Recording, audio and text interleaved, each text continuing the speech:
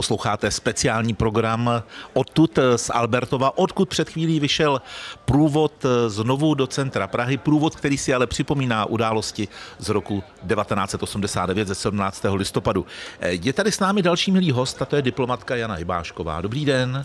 Dobrý den a dobrý den do všech měst Čech a do všech vesnic. Je to fantastický, že to není jenom o Praze do všech měst Čech, řekněme i Moravy a Slezska. Samozřejmě. Abychom předešli případným eh, stížnostem a telefonátům. Vy jste za Českou republiku, jenom abych vás víc představil, působila například ve Slovensku, Kataru, Kuwaitu, za, Evropský, za Evropskou unii v Iráku a na dalších místech. V Africe jste byla nedávno. Jste cestovala celý svět.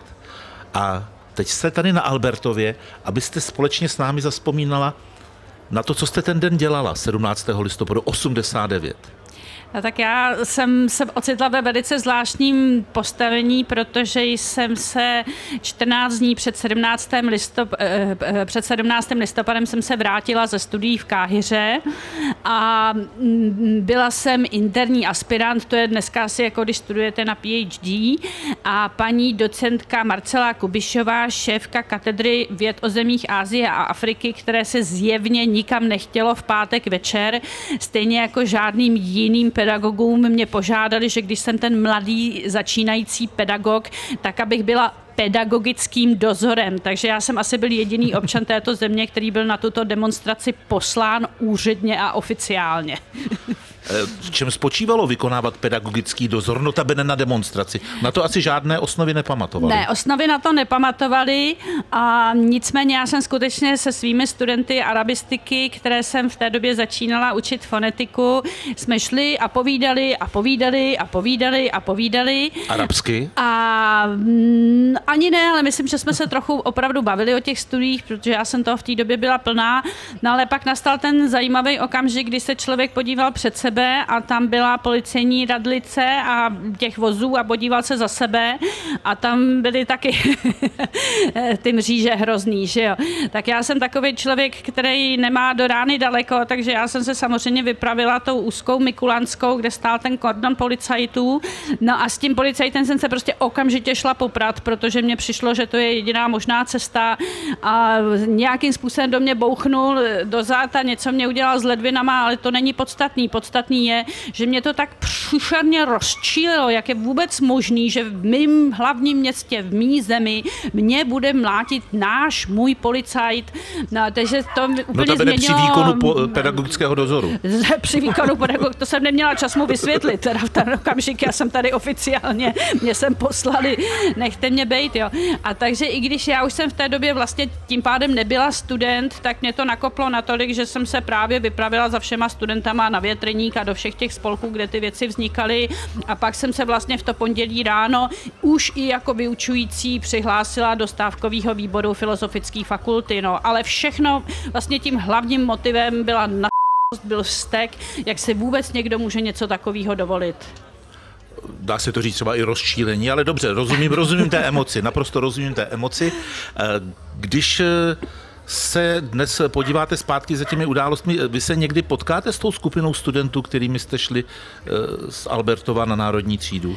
Nebo to byla jednorázová akce? To až tak moc ne, s nimi já se potkávám velmi pravidelně, protože řada z nich, podobně jako já, pracuje na ministerstvu zahraničních věcí, takže my jsme profesní kolegové arabisti, ale co je strašně zajímavý, my jsme měli neuvěřitelný štěstí při vzniku stávkového výboru filozofické fakulty a na památkově jména Vlastimil Ježek, Monika Pajerová. Ta přijde já, za chvíli.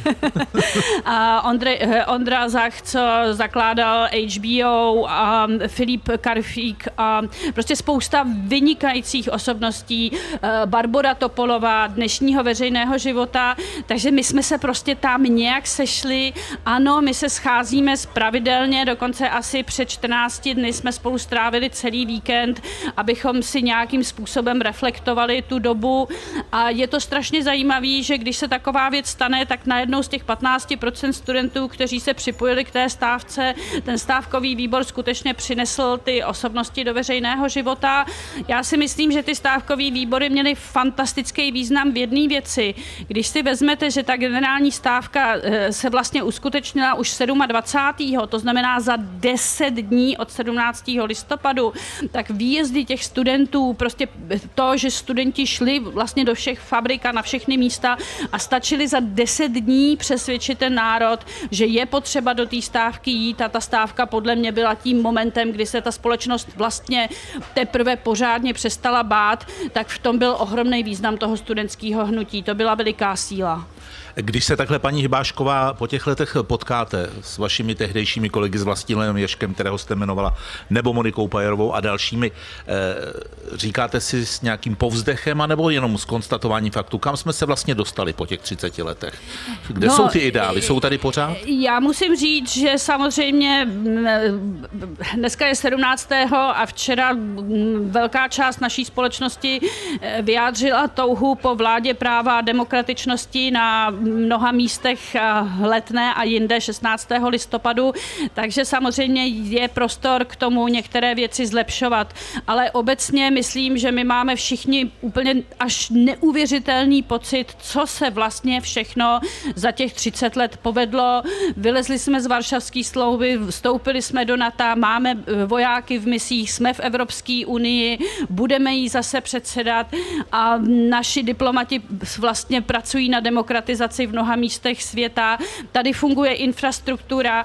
Hlavně lidi se strašně změnili. Já jsem 15 let teďka byla mimo republiku, takže opravdu můžu soudit. Opravdu jsem tady byla velice málo.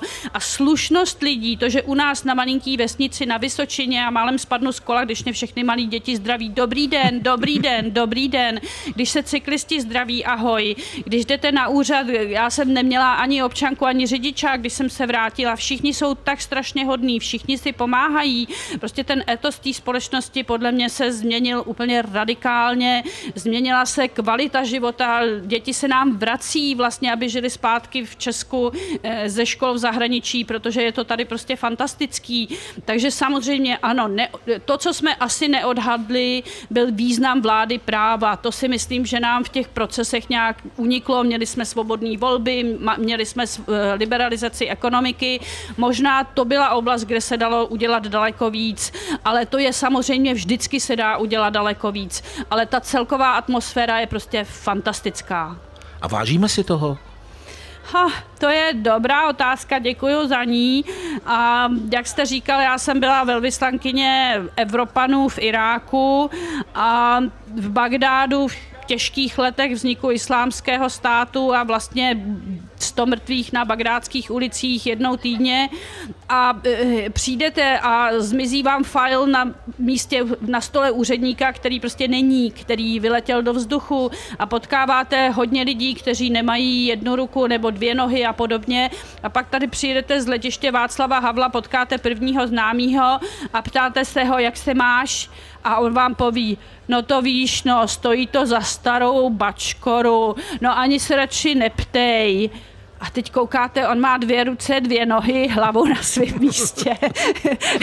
Nastupuje do krásného auta a je nespokojený. Já si myslím, že, ale vidím, že teďka okolo těchto z těch listopadových dní, že lidi začínají mít opravdu široký úsměv, tak si myslím, že jedno z těch moment té současnosti by mohlo být, aby nám ten slavnostní, veselý úsměv vlastně zůstal i do těch dalších všedních dnů. Zkusme teď zjistit naživo, jestli máme nějaké přesvědčovací schopnosti. Poslouchá nás tady Jano několik desítek lidí. Zkusme na jejich tvářích vyloudit úsměv. Nevím sice, jak se to dělá, ale u některých z vás se to očividně daří, takže to je moje poděkování Janě Hybáškové, diplomace, že tohle zkusila tady na Albertově zařídit a vám přeju hodně štěstí do dalšího života a děkuji za návštěvu. Děkuji moc krát, děkuji a zdravím všechny, děkuji.